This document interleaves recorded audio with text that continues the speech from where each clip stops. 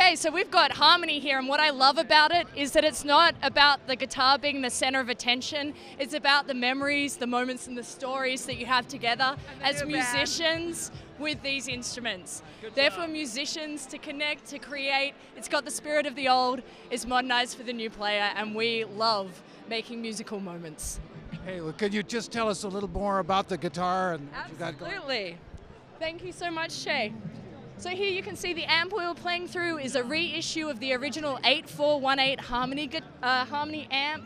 It's got all the original tubes, a six-inch Jensen speaker, and just one knob to turn it on. It's perfect for intimate settings. It's warm. It's vintage. And uncomplicated. It's totally uncomplicated. You plug it in, you turn it on, you warm it up. It sounds great.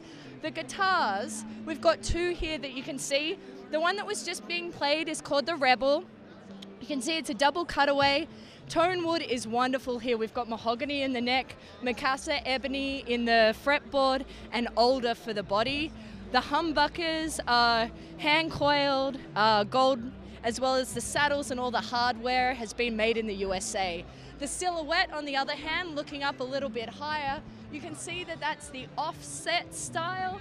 Again, we've got the mini humbuckers there, uh, as well as Sorry, I'm out of breath from too much singing. The difference here is we've got the outer body, we've got the, uh, sorry, we've got uh, maple for the neck, and we've got the Macassar ebony here on the fretboard. It's beautiful. We've been coiling uh, the the humbuckers ourselves, so it's some, all some hand pedals down here. so this is Teisco. Teisco's a little different to Harmony. Teisco started in Japan in 1948. They were all about how to combine music and electricity to push the boundaries of what was possible with sound.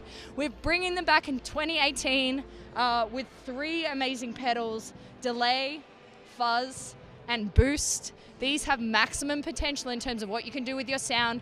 We describe them as wild but tameable. You've got lots of nice headroom in the boost, a perfectly unpleasant fuzz, and this delay has both modulation and delay, which means you can really do a lot with it to change your sound.